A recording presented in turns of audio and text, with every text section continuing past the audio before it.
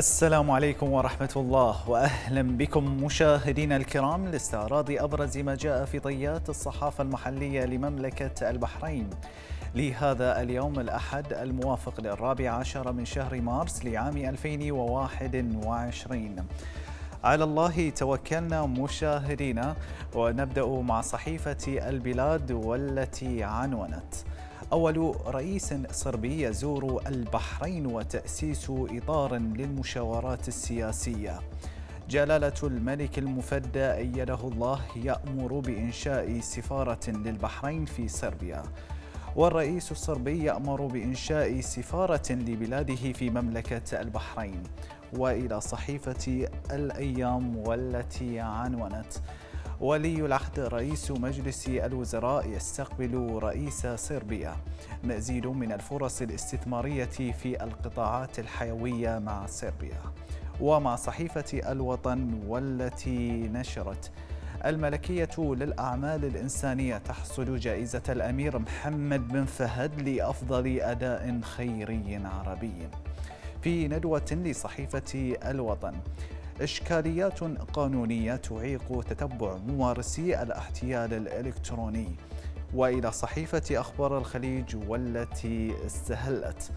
قمة تاريخية لتعزيز العلاقات بين مملكة البحرين وصربيا.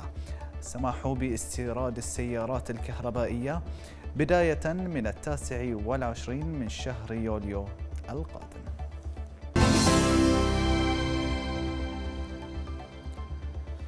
إلى صحيفة أخبار الخليج ونقرأ منها أن وزير الصناعة والتجارة والسياحة زايد الزياني أكد أن إدارة الفحص والمقاييس بالوزارة تلقت عددا من طلبات تسجيل ومطابقة طرازات السيارات الكهربائية لعام 2020 وما بعدها حيث تم تحويل تلك الطلبات إلى هيئة التقييس الخليجية. وكشف الوزير أن اعتماد اللائحة الفنية للمركبات الكهربائية سيدخل حيز النفاذ بتاريخ التاسع والعشرين من شهر يوليو القادم. بقلم عبد المنعم إبراهيم نشر صحيفة أخبار الخليج مقالا له فإلى سطور هذا المقال. المغالطات والأكاذيب التي أطلقها البرلمان الأوروبي حول حقوق الإنسان في البحرين والدول العربية ليست جديدة فهو يسير باتجاه بوصلة الحزب الديمقراطي الحاكم حاليا في أمريكا إذ يتخذ الطرفان الأوروبي والأمريكي من شماعة حقوق الإنسان وسيلة للتدخل في الشؤون الداخلية للدول الأخرى وابتزازها في المحافل الدولية. ولنكن واقعيين وصادقين مع أنفسنا. لا أمريكا ولا حتى أوروبا تعتبران فردوس الدنيا في حقوق الإنسان. ففي كلتا المنطقتين دوائر سوداء كبيرة في حقوق الإنسان داخل المجتمع الغربي سواء ضد الأقليات والديانات الأخرى في الدول الأوروبية أو ضد المواطنين الأمريكان السود والمنحدرين من أصول إسبانية أو مكسيكية أو آسيوية في الولايات المتحدة الأمريكية. خط الكاتب محميد المحميد مقالا في صحيفة أخبار الخليج والذي جاء بعنوان البرلمان الأوروبي الخطوة التالية. فإلى سطور هذا المقال. يجب أن لا يجعلنا قرار البرلمان الأوروبي وغيره من بيانات لجهات مغرضة نتوقف عن دعم السجل الحقوقي البحريني وأن نواصل العمل الحقوقي بكل إرادة وطنية قوية وشجاعة وفتح الأبواب لكل جهة مسؤولة لحقوق الإنسان بكل مهنية ومصداقية. وهذا بالتمام ما قامت به الجهات المعنية في البلاد كالأمانة العامة للتظلمات التي خاطبت بعض المنظمات للوقوف على المزاعم والادعاءات بل إن الأمانة العامة للتظلمات كانت قد استقبلت وفدا دبلوماسيا أوروبيا في الوقت الذي عمد فيه البرلمان الأوروبي لإصدار قراره الخاطئ.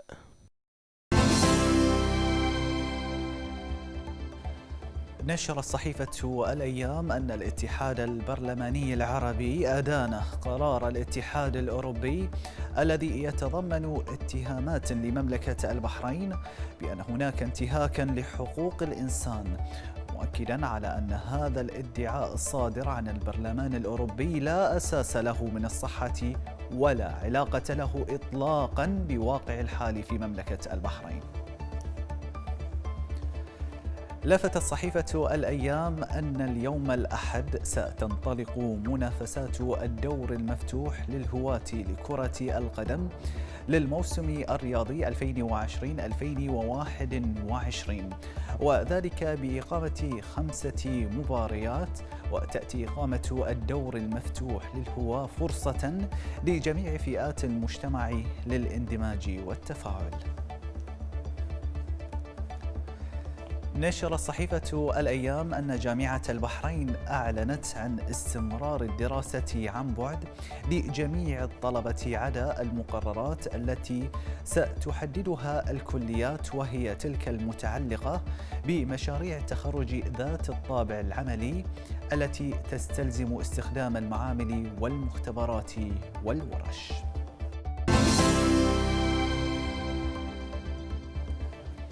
نشر صحيفة الوطن أن المؤسسة الملكية للأعمال الإنسانية فازت بجائزة الأمير محمد بن فهد لأفضل أداء خيري في الوطن العربي حيث أكد سمو الشيخ ناصر بن حمد آل خليفة ممثل جلالة الملك للأعمال الإنسانية وشؤون الشباب أن هذا الإنجاز الكبير يعكس رعاية حضرة صاحب الجلالة الملك حمد بن عيسى آل خليفة الرئيس الفخري للمؤسسة الملكية للأعمال الإنسانية للعمل الخيري والإنساني.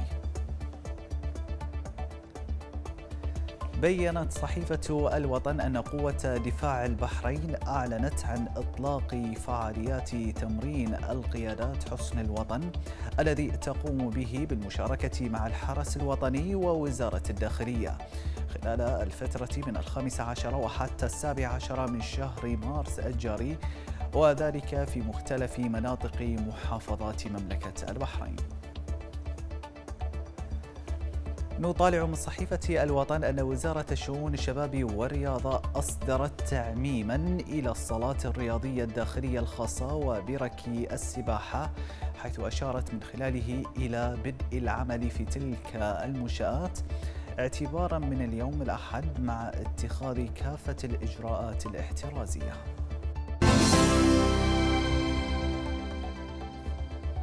خط الكاتب عبد علي الغسر مقالا في صحيفة البلاد والذي حمل عنوان المرأة البحرينية في القرن العشرين. فإلى هذا المقال. للمرأة البحرينية تاريخ مجيد وخالد في الذاكرة البحرينية. فقد سجلت حضورا متميزا أسريا واجتماعيا واقتصاديا وثقافيا وسياسيا وساهمت بقوة وفعالية بنهضة مجتمعها. والدفاع عن حقوقها كامرأة ومواطنة.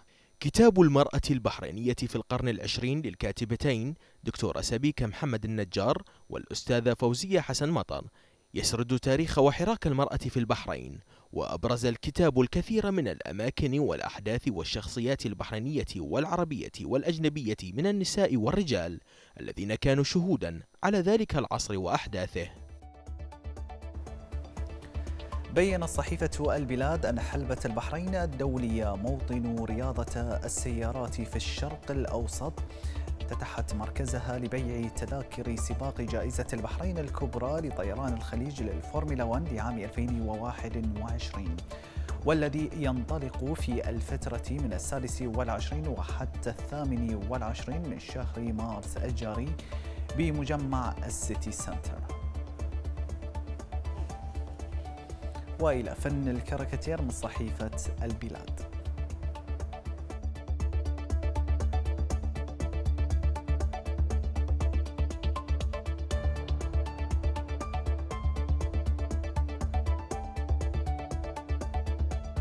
إلى هنا مشاهدينا نكون قد وصلنا إلى ختام برنامج صحافتكم لهذا اليوم. ولمزيد من الأخبار والمستجدات بالإمكان متابعة القنوات التفاعلية لمركز الأخبار على مواقع التواصل الاجتماعي الظاهرة على الشاشة. كما بالإمكان متابعة باقة البرامج والبث المباشر عبر تطبيق BHTV and Radio. شكرا لكم على طيب المتابعة وإلى اللقاء.